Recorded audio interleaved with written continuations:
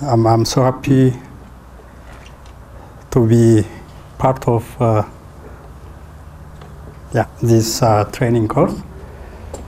I thank you, the organizer, for giving me this chance. Yeah. Okay, just stand here. So, of course, a uh, couple of slides, former slides, already mentioned some valuable points about uh, conservation challenge, especially the presentation on animal diversity and also the presentation offered by Dr. Bilal on protected area management captured uh, broadly the issues which I'm going to talk uh, on these uh, slides. So just to complement and then uh, bring you more specific toward the Ethiopian context. Ah, sorry, there is some problem. anyway, uh, I came from Ethiopian Wildlife Conservation Authority, Director for National Parks Management. So, to give you a brief highlight about uh, the authority, uh, we are structured under the Ministry of Culture and Tourism and uh, with uh, roles uh, to conserve, protect, and then manage uh, wildlife uh, resource of, of, of Ethiopia using wildlife policy, law, directives, regulations, and guidelines, which we already developed in order to enable us properly conserve wildlife resource of the country. And also, uh, as uh, an authority, we are party to some uh, conventions like CITES, uh, IUCN, AWA, uh, and the CMS. so we use all these uh, instruments in order to be able to, as much as possible, properly conserve and manage wildlife resource of the country. So our policy encourage participatory conservation approach. So we bring uh, as much as possible all key stakeholders in order to participate, involve in conservation and management and the utilization of uh, country's wildlife resource. So don't bother about the number. Uh, we have controversials um, on the number of uh, the, on the records we have regarding the number of protected areas, uh, number of species, so and so on. Forget about that one for the time being. Anyway, uh, the figure which I'm showing here is not con contradicting the figure which was uh, presented by yeah, uh, this is simply showing the one which we are managing, okay? Uh, the national parks, wildlife sanctuary reserve, so on and so on. Some of them, they are managed directly by Ethiopian Wildlife Conservation Authority, and then the rest managed by regional governments, and then community conservation areas managed by the local people, and then the hunting areas managed by the hunting companies. So this is just the, the figure uh, which shows that one, not the total number of protected areas we have in Ethiopia, okay? So all these protected areas, as much as possible, uh, represented the major ecosystem of the countries, 10 of them, as much as possible, covered within the protected area system of Ethiopia. So we have just showing uh, some of the major ecosystem of the country, which included in our protected area system. You can see the Afromontane, Afro-alpine, the lowland tropical forest, the wetland, the aquatic ecosystem, arid and semi-arid, then the savanna. So this map showing, even though not clear enough uh, for you uh, to simply locate where their location, to see their location, just showing the distribution of Ethiopian protected areas across the country, okay? the legend is not clear enough for you. I understand that one. So you can see widely distributed across uh, the country, almost covering all uh, regions uh, throughout Ethiopia. We have also uh, transboundary management initiatives as one of the best way in order to bring effective protected area management in Ethiopia. Uh, these ones are just a proposal, okay? A proposal. Uh, in the future, we are going to realize them. So here, uh, sorry.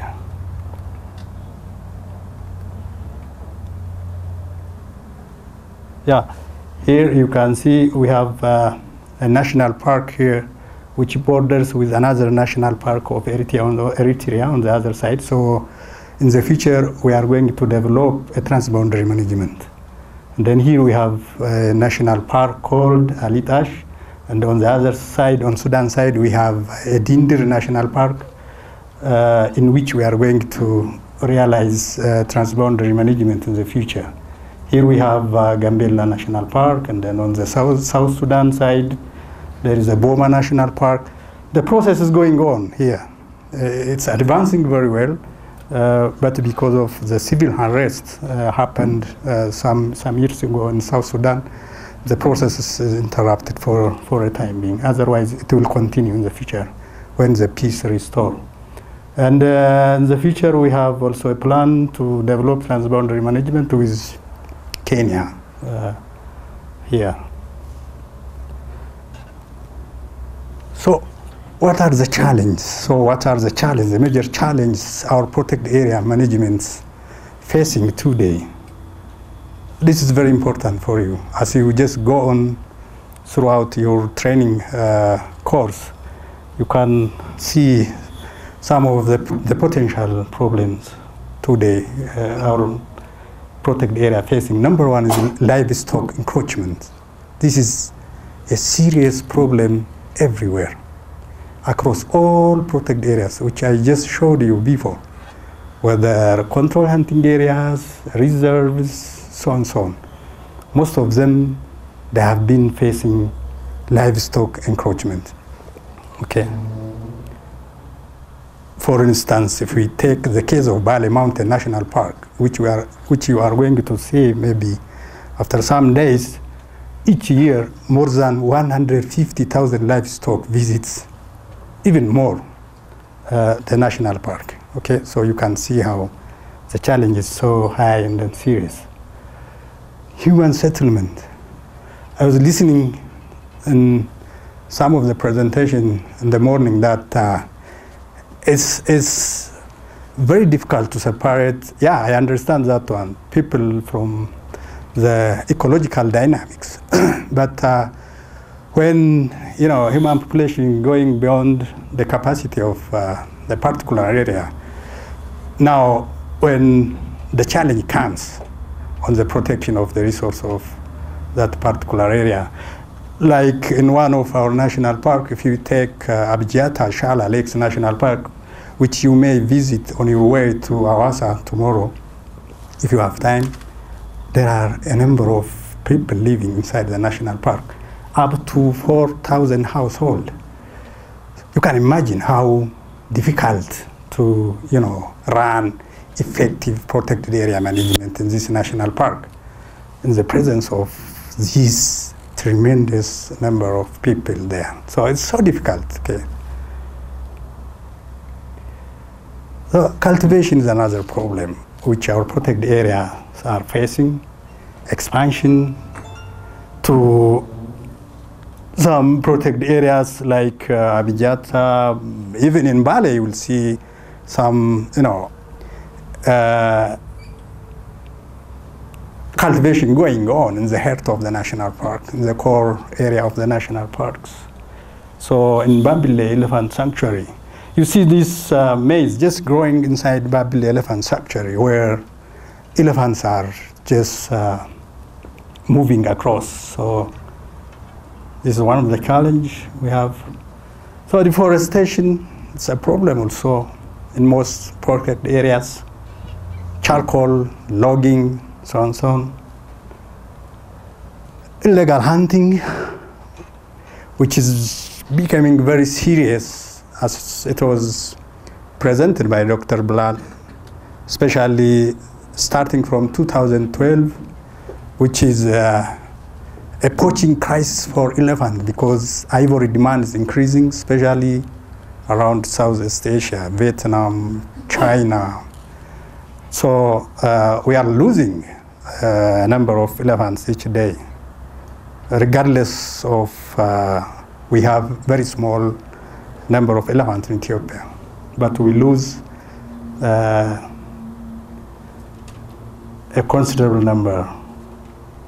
So fire, fire is another problem. We know that fire, fire is important also in some, in some ecosystem, but the problem is uh, timing and uh, no regulated uh, fire, uh, firing practice. So especially in Bale Mountain National Park, fire is also a problem each year, causing a devastating, devastating uh, effect on, on uh, habitats of wildlife and then also are damaging the forest, especially Harenna forest.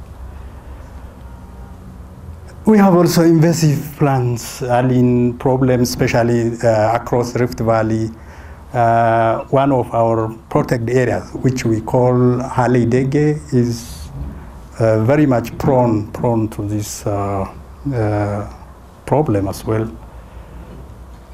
So what are the effects? Okay, we saw all these challenges which our protected areas are facing. So what have they caused really uh, to the wildlife uh, population of Ethiopia?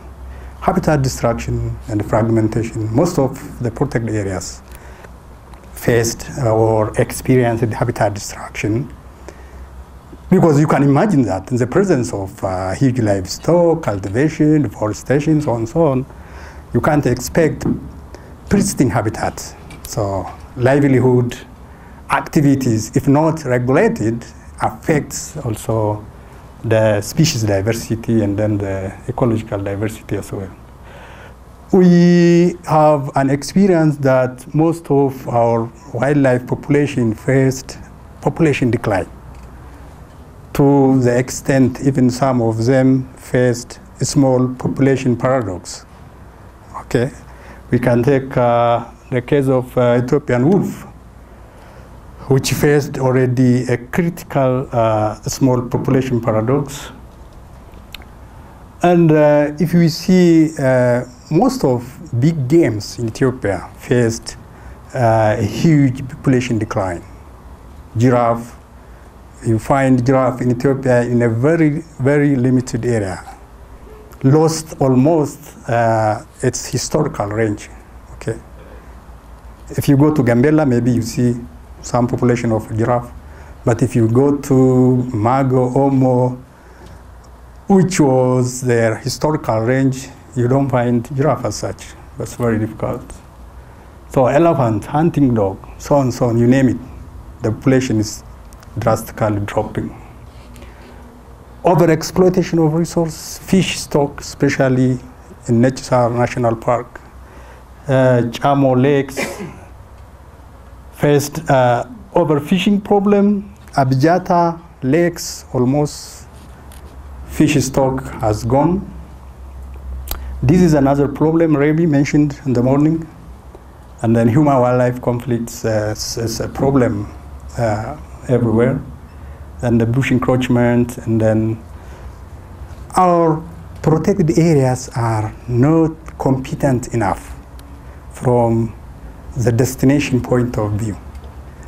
That's why tourism is not doing well in Ethiopian uh, protected area uh, because the aesthetic value of most protected areas lost because of uh, the challenge we I already mentioned. What are the driving force? the drivers behind this are one, demography, human population is increasing, boosting from time to time. I think we have reached 100 million, I think so. And then climate change, food insecurity, At times, uh, drought happens, the pressure on protected area increases because more livestock even come during the drought season. Lack of integrated land use plan. So we are facing incom incompatible uh, land investment in, in some of the national parks. The lack of awareness, inadequate commitment of authorities at all levels, even though political support will is improving from time to time, still there is uh, a gap in fully supporting and then giving priority and attention to the importance of uh, uh, managing protected area properly. Lack of multi-sectoral coordination and integration and the benefit sharing mechanism is still uh, lacking in most areas, even though there is an improvement. Inadequate resource for protected area management lack of skilled manpower, financial sustainability, uh, materials, which are an important input in order to realize effective protected area management. Very much lacking still. And then high unemployment rate, livelihood issues, a key problem around most protected areas so far. And then increasing demand for illegal trade of some wildlife products, especially ivory. Those are the driving force causing the, the aforementioned uh, challenge. So what are you doing as a country and then uh, as the authority, Ethiopian Wildlife Conservation? Because I mentioned to you the mandates and the roles which are given to us to conserve, to manage, protect, and sustainably utilize wildlife resource of Ethiopia. From that perspective, uh, we are doing our level best as much as possible, even though the, the challenge is very enormous. One, we are uh, demarcating, re-demarcating the old boundary of most protected areas. Because I don't go into detail for each of them because I see most face looks tiring, so I just run through. So new protected areas being designated, we are increasing the number of protected areas. Uh, uh, because some 10 years ago, uh, we had about nine national parks officially declared, and then today we have about 22 national parks, uh, which declared officially. Uh, two additional parks being established in, in one of the regions, western Ethiopia, and also uh, more wildlife assessment is going on, especially on the eastern uh, side of Ethiopia, which is included under the hotspot by the Afromontane Biodiversity Hotspot to include that representation also. And then seven national parks gazetted recently, and then the rest are going on and underway. And uh, we are improving also the structural setup, organizational setup of uh, our protected area management system. And then we are doing a lot on capacity building, training for rangers, for experts, for wardens. As you see over here, uh, these are our rangers. And uh, we are strengthening our communication collaboration and integration with all key stakeholders. Okay, we are doing a lot even with uh, Ethiopian Biodiversity Institute. We are collaborating on, on, on so many issues, on research and even conservation issues. And then we are doing the same with other key stakeholders, both at federal and regional level up to even Woreda and the village level. And then we are building up our strong communication and the relationship with the local people as much as possible. We have a strategic plan which guides us our protected area management uh, system. And we are also doing uh, on infrastructure development because very important for tourism and then for management as well. Recently we did, even though maybe it contrasts with the, the point mentioned in some of the slide, resettlement on voluntary basis, not eviction, okay? Just on voluntary basis. We, we are resettling people from one of our national parks outside the national parks, in Simien Mountain National Park. So we are doing also, because one of our gap is uh, benefit sharing mechanism is not as effective as expected to be.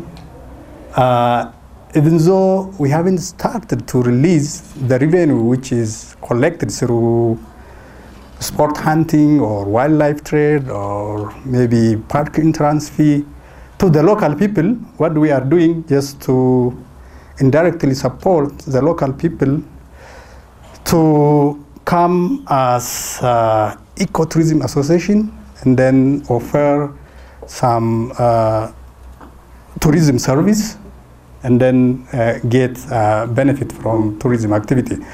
So in this case, we are doing some promising uh, results in one of our national park, like Simien Mountain National Park. Each year, the local people, which are organized as ecotourism association, earning about 10 million birr each year. This is something good. And then, as a result, the support of these local people for the national park is increasing. That's why we became successful in, in just resettling the people in that national park to another place uh, outside the national park. So financial sustainability of protected area, we are doing a lot uh, on this issue. We are uh, encouraging as many partners as possible to invest to support our protected area management system as much as much as possible. And then uh, we are doing also on conservation education and awareness creation. We are using media a lot, television, uh, radio. We are we are and then school club as much as possible. We are working a lot on this area. And uh, also, uh, we are focusing on promoting wildlife tourism in Ethiopia as well. And then the annual recipients or tourist arrival of uh, the national parks, in average, is growing by 10%. So uh, that were the efforts, conservation efforts we are doing as much as possible.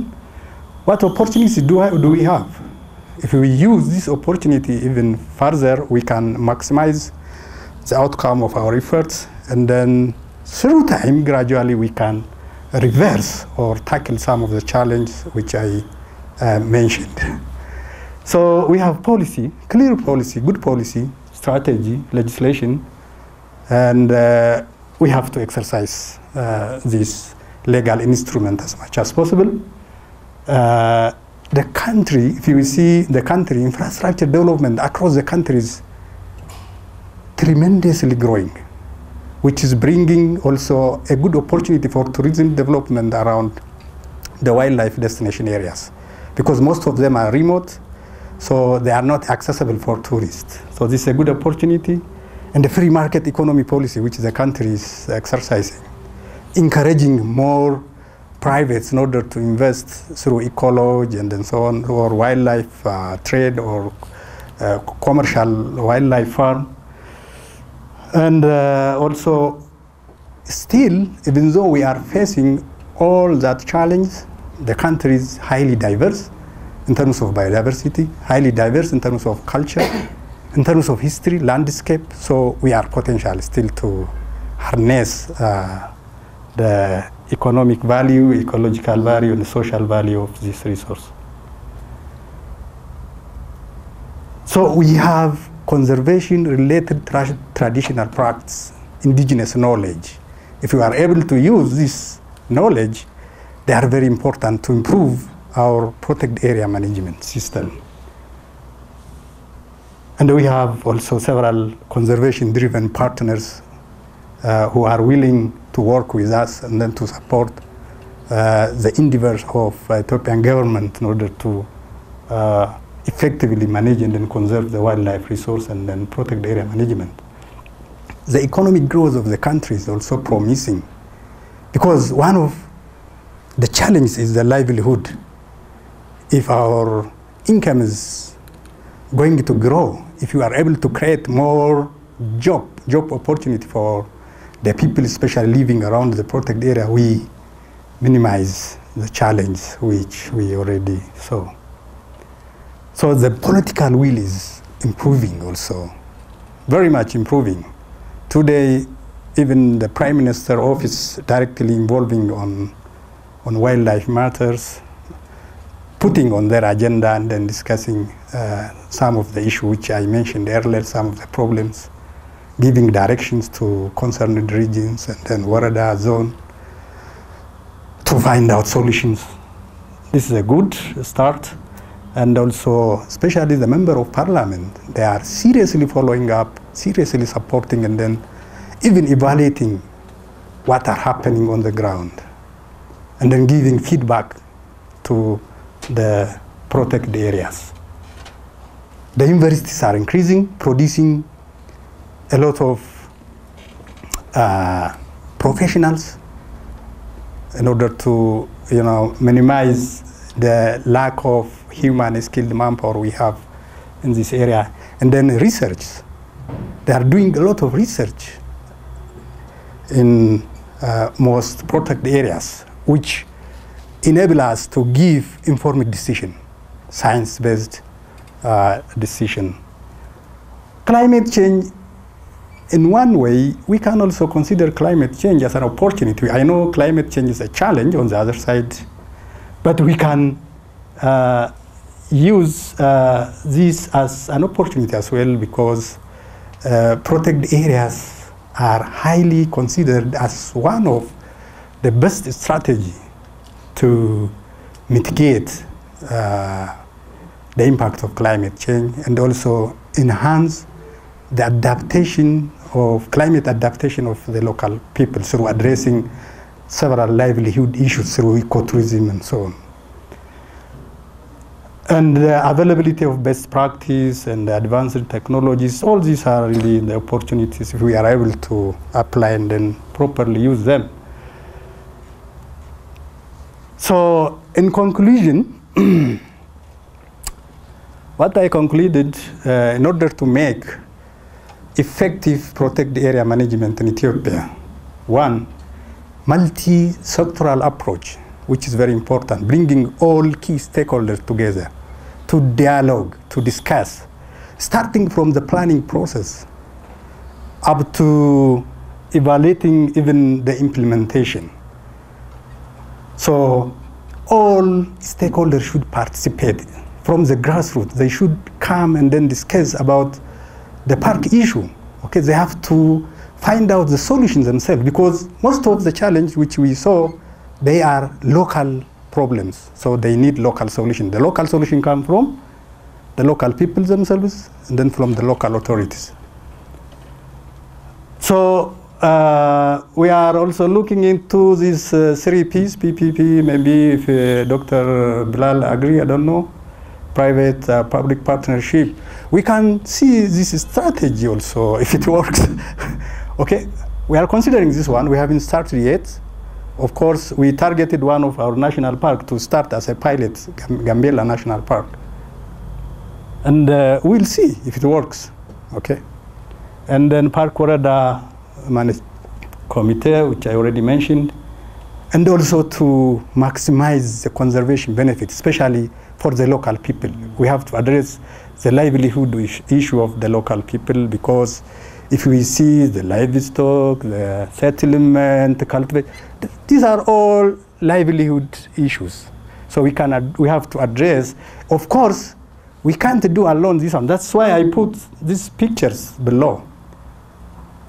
We don't even try to do alone like this guy is doing. He's pushing, you know, you can imagine how it's so difficult and then the energy it requires exerting against, you know, this big stone. It's just like that. If we are wishing to work alone, we are just doing like this guy. Okay, so we have to follow this one. We have to bring all stakeholders together and then discuss together round table and then found out solutions together, especially involving the local people, so that we can bring effective protected area management in Ethiopia. Thank you very much.